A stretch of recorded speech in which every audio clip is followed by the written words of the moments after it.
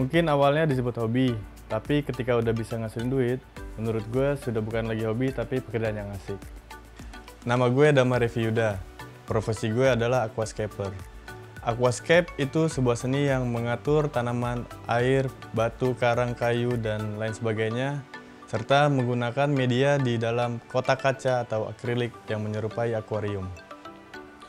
Yang gue lakuin di Aquascape ada dua. Pertama, gue ngedesain Aquascape untuk klien perorangan ataupun lokal bisnis, seperti hotel, restoran.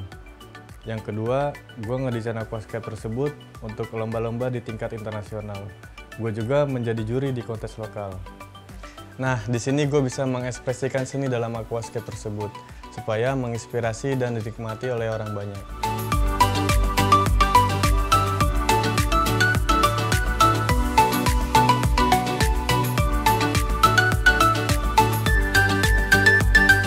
Dari kecil gue suka banget melihara ikan di akuarium dan suka memodifikasi suatu hal yang beda dari yang lain atau bisa disebut inovasi.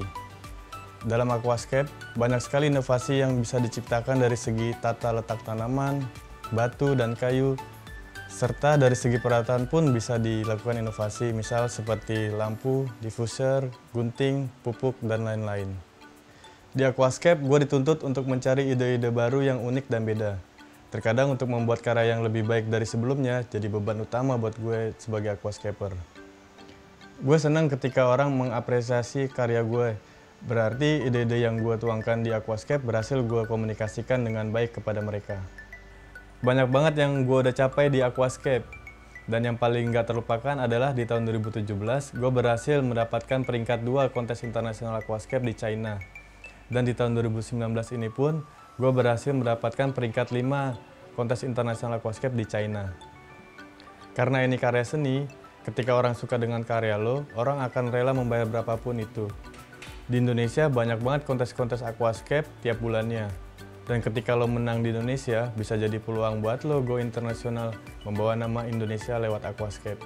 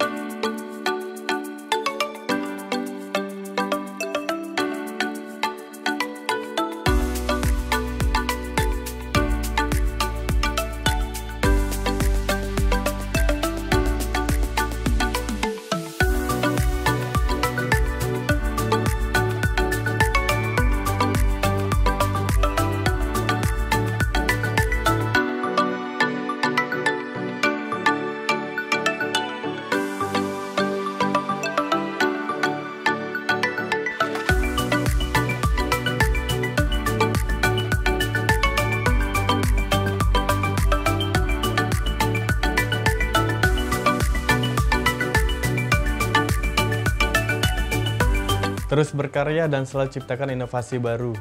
Sudah banyak karya anak bangsa di bidang aquascape yang sudah mendunia. Dan sekedar informasi, banyak banget juara-juara dunia aquascape ini berasal dari Indonesia. Serta produk-produk aquascape Indonesia pun sudah diakui di luar negeri. So, tetap semangat ngobok.